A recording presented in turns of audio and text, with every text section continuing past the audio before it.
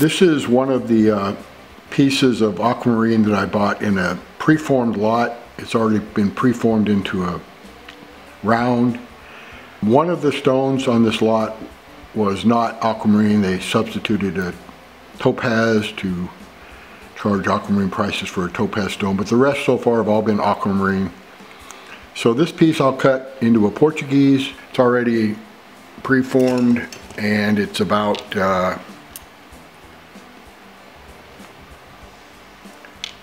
about six and a half millimeters, a little over. So if I end up with a six millimeter, that's fine. For, for what we use in the jewelry store, anything above five millimeters is, is very much usable by Bopie to turn into a piece of jewelry. So I'll go ahead and just dop this up and cut a Portuguese cut. Since this gemstone is already preformed into a round design, I will use my favorite round design, a Portuguese design, to cut it. For Portuguese design, I used a design by the late Jeff Graham that he called Simple Portuguese. Simple because he designed it for smaller stones and removed one row of facets, uh, which you don't really need for smaller stones. There are a number of Portuguese gem faceting diagrams out there, and they're all pretty similar, so I don't really recommend any one over any of the others. Try them and pick the best one, the one you like best. For this cut, there's uh, 145 facets to cut and polish. So although it may be called a simple design, it still takes a lot of work to cut and polish a lot of facets. Jeff made hundreds of gem faceting diagrams, and there are books available with his designs. Unfortunately, you do have to buy the book to get those designs. And I do have many of Jeff's books, and they are great. However, uh, Jeff also put about two dozen of his most popular designs into the public domain for any cutter to use. And I made a video a while back where I show you how to go back in time to Jeff's old website and download Jeff's free designs uh, including this Portuguese design. And if you do go visit Jeff's old website, I recommend that you take a look at all the articles that Jeff wrote on gem cutting. He was a prolific writer, and there are some excellent gem cutting articles there full of valuable advice for cutters. Okay, since this is uh, pretty well preformed, I was going to go straight to my 8000 zinc, uh, 8000 grit diamond on zinc lap. But since there's a little bit of uh, work to be done here, this isn't quite the girdle's not quite there yet. There's a little bit I need to clean up right there and on the other side.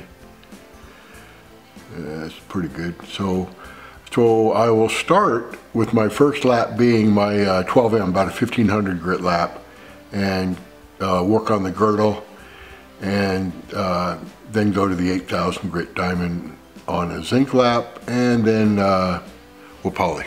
A viewer recently asked me to show some of the actual cutting of the gemstone. So here goes. The second row of cutting instructions are cut at an angle of 43 degrees. So the first thing I do is set my Ultratech to 43 degrees. Now I set my water to drip at a steady drip uh, onto my 12M lap and I run my lap in this case for this stone at about 600 RPMs. Okay, I just cut down the second tier, the uh, P3 line of instruction, and cut down to just about the girdle with my uh, 12M lap. So now my Ultratech is set up and all I need to do is cut this row all the way across the three, the nine index, the 15, 21, and so on, all the way around, and then the second tier uh, will be cut to the same to the same exact location.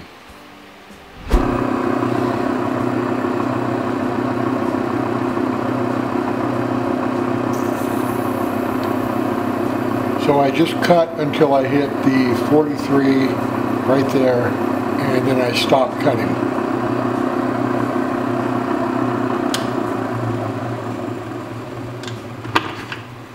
And the second row is now finished. I've gone all the way around it. You can see the little points of the second row just touch the top of the girdle all the way around. So now I'll cut the P4 line of instruction at a 41 degree angle, starting with the 96 tooth and then going around every 16th, the 6, the 12, the 18. And then the, then the final tier or row on the bottom is at 39 degrees. And I go back to the 3 index, the 3 index tooth and cut every 6, the 3, the 9, the 15, all the way around the index gear. And that'll put the next two row, two rows or tiers of facets on the pavilion or the bottom half of our aquamarine. And on the Ultratech, all you do is you set this, uh, you loosen this up, this screw up, and that lets you uh, move the machine down until we hit uh, 41 degrees for an angle. Then when you're about there, you tighten it up. And then this screw right here on the Ultratech. We use that to make the minor adjustments and we're set at an angle of 41 degrees. So then all we're going to do is put the stone till it just touches our machine at the angle of 41 or just above it.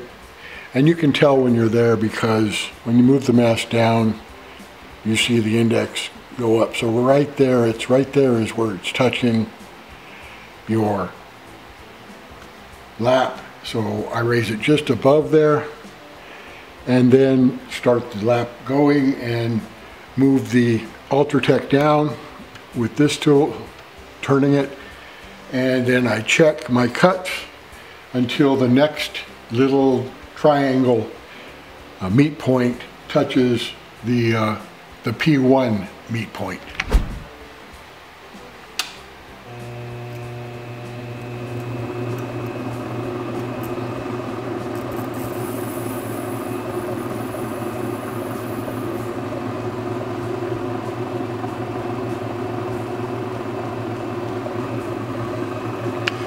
And it didn't take much and we're right there. And you can see the, uh, the little point came down. That's the facet we just cut.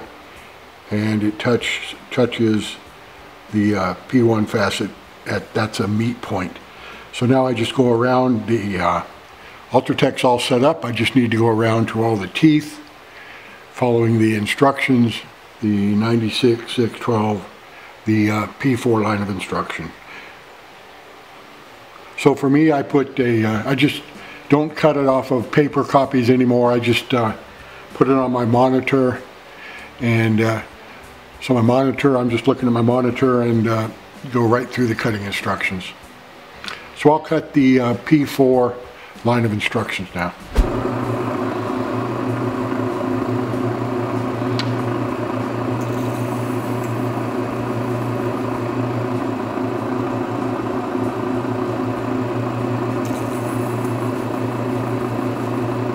And that's all takes to cut these facets for this tier.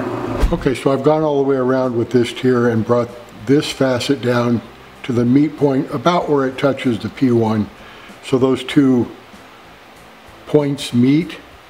And then now I'll do the final tier, in which case this facet will come down and touch this uh, top of this point and that'll be all I need to do for the pavilion with the uh, my 12M lap. Then I'll move to the next lap and then to polish. Okay, so I pre-polished our aquamarine with uh, 8000 grit diamond on a zinc lap and now I'm going to polish the girdle. So to polish the girdle I set up my, I pull my drip tray down and I reverse the uh, rotation of the lap to counterclockwise so it goes that way. And I put a little sponge right in the uh, drip tray, kind of stick it in there, and that prevents a lot of the water from splashing. set up the uh, drip to a slow drip. I use about uh, 300, a rotation about 300 RPMs.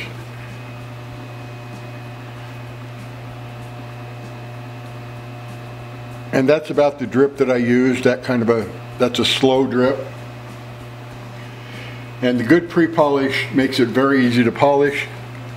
I run my finger over to make sure the, the whole lap is wet. Then I use my spray bottle of cerium oxide and water. Put two uh, sprays on there and we're ready to polish. So at a 90 degree angle, I just lower it until it's just touching.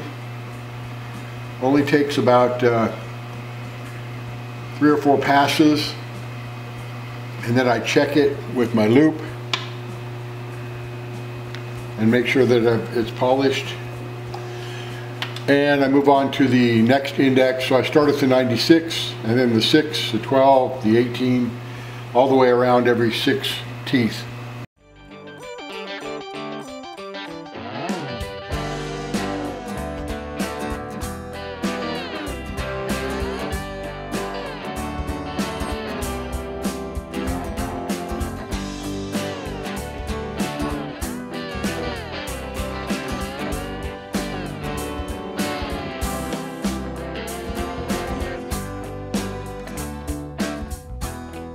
Now if I had gone to polish after using my 12M lap, uh, it would have taken, it would have polished, it would have taken a little bit more work on the uh, cerium oxide in my creamway lap, but I think I could have gone to polish from the 12M.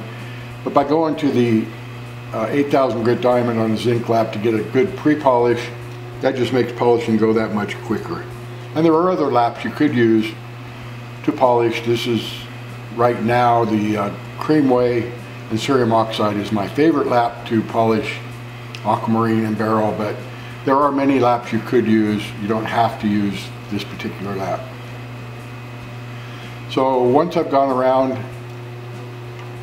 all the teeth, then I'll do a good check of the stone and uh, then I'll move on to the next tier. Okay, let me put my finger to kind of back block some of the backlight so you can see the girdle is polished and now I'll go on to the next uh, the next row and, and polish the rest of the pavilion.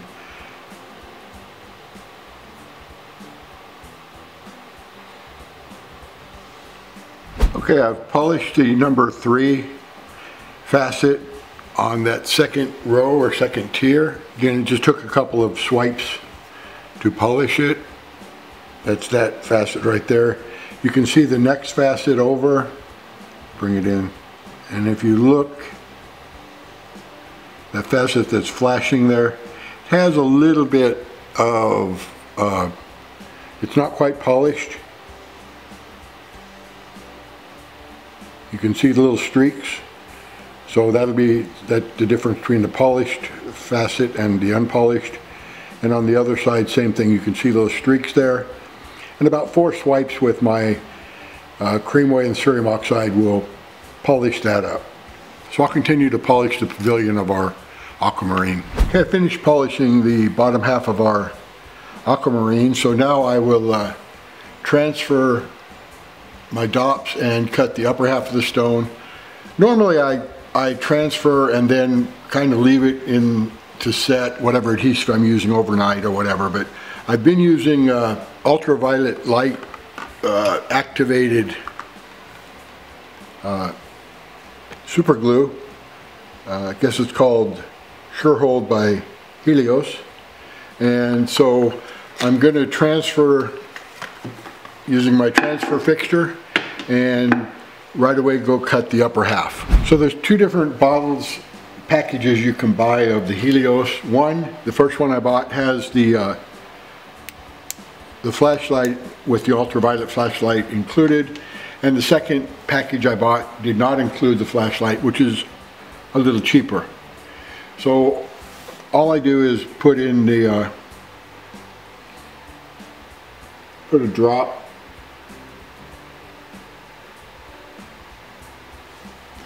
of the super glue and then make the connection between the two dops. Move it around a little bit to make sure that there's uh,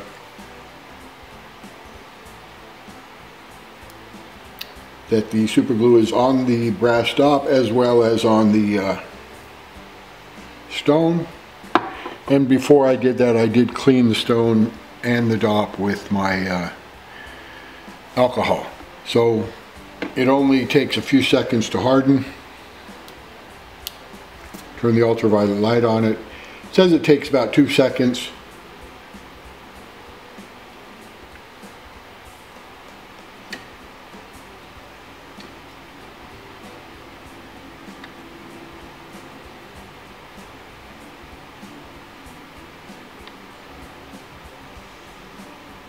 And I can tell by touching it that it's already it's already uh, hardened up. So like I said I normally wait. I have enough other projects to cut that I could cut something else and then come back to this. But in this case I'm going to go ahead right now and uh, continue to cut on this aquamarine for one reason. I just want to see if it's true that this is uh, instant instantly cured and ready to go. So I'm going to test that out. So in the case of the, uh, the upper half or the crown of my aquamarine, I went directly to polish from the 12M just to see if I could and I had no problem polishing up. It took a little longer than if I would have gone to a 8000 grit diamond on a zinc lap and then to polish, but uh, polished up a little bit, a little bit slower, but did polish up fine with the Creamway and cerium oxide. So now I'll set up to cut the table and then we'll be done with this uh, aquamarine. Okay, the table polished right up. So now I will uh, soak our stone in acetone and then weigh it, measure it, and uh, send it off to Bopie.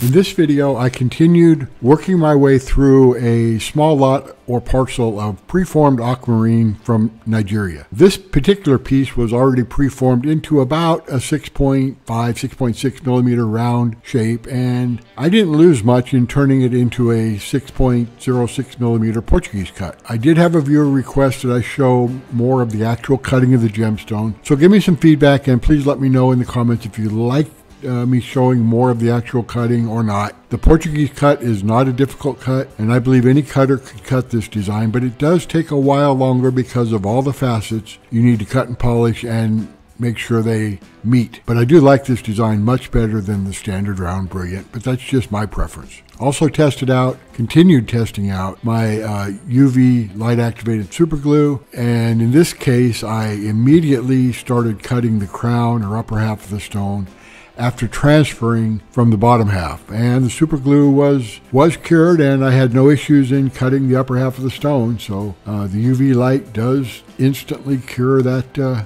super glue. So please let me know in the comments what you think of this piece of aquamarine and uh, the Portuguese design. And as always, happy faceting, everyone.